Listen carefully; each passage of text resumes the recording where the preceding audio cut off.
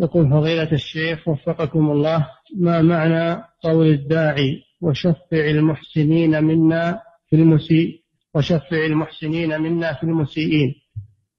المحسنين يعني الموجودين في المسجد أو في المجلس. المجلس.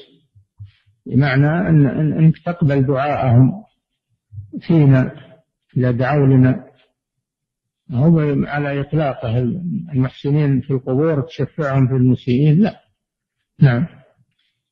المراد به الحاضرين الحيين. نعم. معناه تقبل دعاءهم لنا. نعم.